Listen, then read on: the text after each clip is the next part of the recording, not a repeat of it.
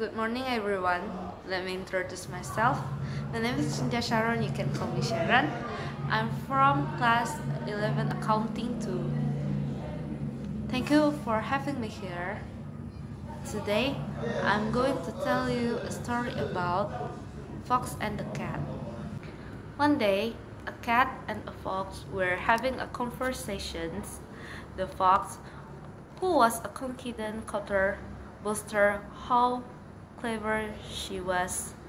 Why, I know a list at a hundred tricks to get away from our mutual enemies, the dogs, she said. I know only one trick to get away from dogs, said the cat. You should teach me some of yours.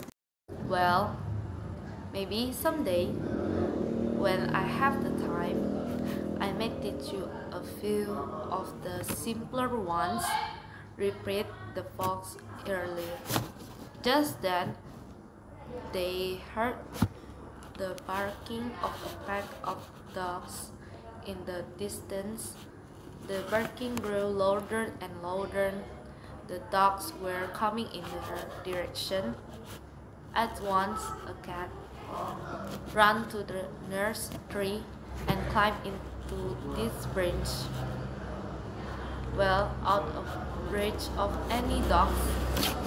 This is the trick I told you about. The only one I know, said the cat. Which one of your hundred tricks are you going to ask? The fox sat silently under the tree wondering which trick she showed us before she could make up their mind. The dogs arrive.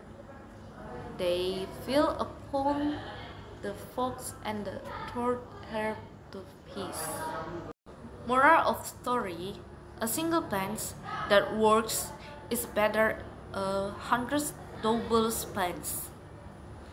And this is the end of my story.